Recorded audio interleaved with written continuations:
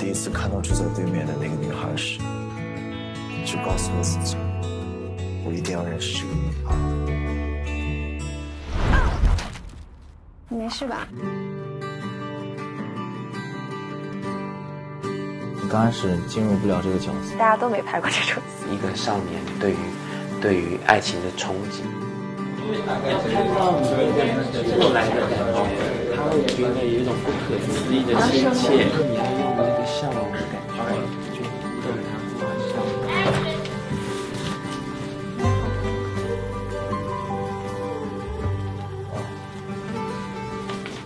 不知道夏莹莹到底跟他是怎样的感情。都挺有障碍的。让我特别感动的是，他主动来找我说，我们想聊一聊，就说一下距离感觉会缩短。不要就我想说，我说我说。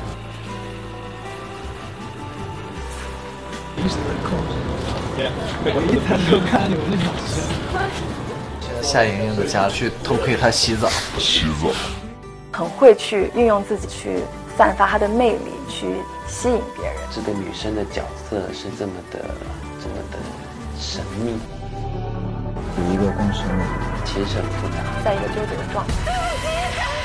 为什么？跟只能拥有一个夏天。看。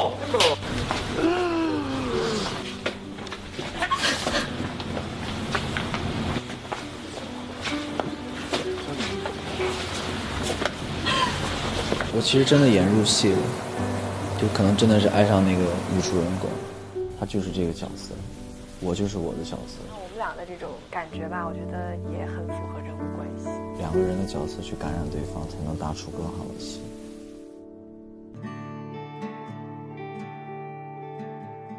光是说男女之间很俗的那种爱情，那也许那个迷恋到一种到一种极尽疯狂的一种程度。不管你做了什么，对你我不会变。怎么样？喜欢吗？喜欢啊。那你可以带我去兜风了。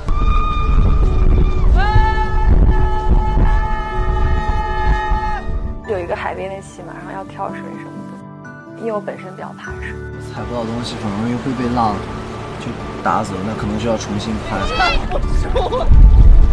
我一直往后飘。出水面之后，两个人看一下。